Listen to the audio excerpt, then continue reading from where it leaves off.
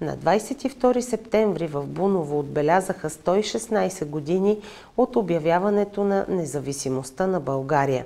Независимостта на страната ни е обявена тържествено на 22 септември 1908 година в църквата Свети 40 мъченици в старата столица Велико Търново, а княз Фердинанд приема титлата цар на българите.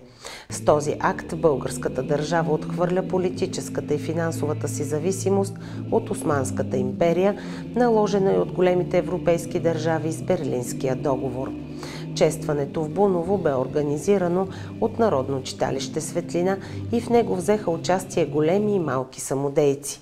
Водещата Татяна Гинколова изпълни стихотворението «Независимост», след което прозвуча химна на републиката.